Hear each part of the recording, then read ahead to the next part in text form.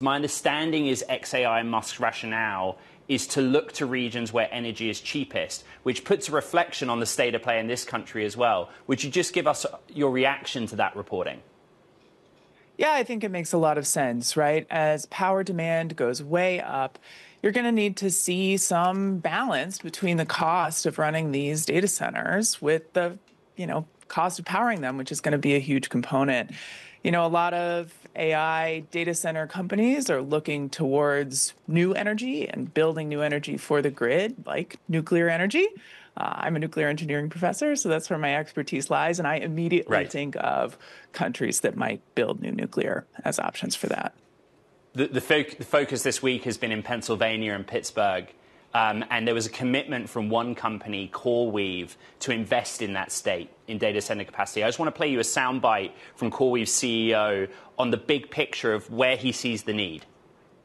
The broader issue, really, um, that has uh, echoed around this conference, and, and, it has been an extraordinary conference, uh, has really been about um, the need to be able to build and scale the energy infrastructure of the country, to be able to build and scale the computing infrastructure for artificial intelligence so that America can maintain its position as a leader in the space. And, and in many ways, the, the, the physical infrastructure uh, um, for artificial intelligence, the compute, uh, the clusters, um, that is going to define our ability to lead within this space.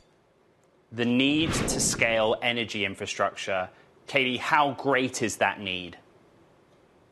Yeah, the pace of builds needed to ramp up the amount of power that we're talking about here is in the gigawatts, right? And this is the kind of challenge that we were facing already with regard to replacing fossil fuel sources in the United States, is in the many tens or hundreds of gigawatts by 2050 add on to that the need to build more power for data centers, and you get a situation where you know hundreds of new nuclear reactors need to be deployed, or you know other hopefully clean energy technologies. Right. Does the regulatory environment support that? Yeah, you know, the Nuclear Regulatory Commission has a number of activities focused on accelerating licensing. Now, I am a bit concerned about the way that the Trump administration has worked in the last few months to reduce its independence as a regulator. Um, I'm increasingly concerned about recent actions being taken by the administration. A, really strong, independent, well funded, fully staffed regulator enables ensuring standards that are going to be met and that the public is being kept safe. And they can speed up their process for right. sure. But my understanding is they're working on it. Katy, we've had many of the, the, the, nuclear operators or would be nuclear operators come on this program, particularly those that have relationships with technology companies.